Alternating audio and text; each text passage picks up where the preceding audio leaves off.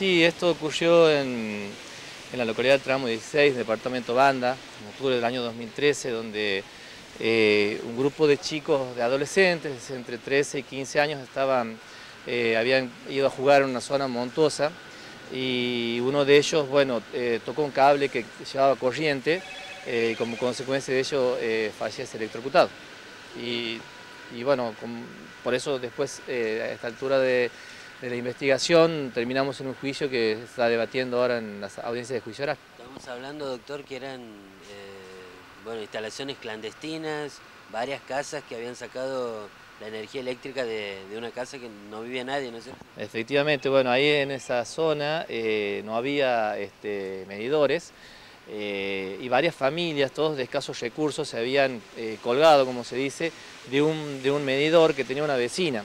Eh, y eso, esas condiciones clandestinas llevaba electricidad como seis familias del lugar y el imputado era una de esas, el señor Lescano, una de esas familias eh, eh, que tenían conectado de manera clandestina y es justamente en, el domicilio de este señor donde se produce la electrocución del menor. ¿Estos cables estaban en el piso? Ah, ¿Habían caído por una tormenta, supuestamente? Bueno, con, la investigación, eh, todos los vecinos dijeron que si bien eran unas condiciones precarias las de las conexiones, eh, todos estaban a, una altura aproximada de dos metros y medio, tres metros, eh, pero los mismos menores que después pudieron declarar, obviamente con la representación de sus padres, dijeron que la noche anterior hubo una tormenta muy fuerte que derribó árboles, eh, y cables, y justamente en esta zona donde anduvieron jugando los chicos, eh, los cables estaban a una altura de más o menos un metro.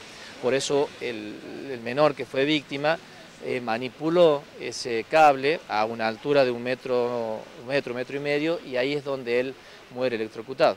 ¿No hubo tiempo de hacer nada en aquel momento? En ese momento recuerdo que mm, el menor es trasladado de urgencia al hospital de la banda, pero bueno, muere en el trayecto.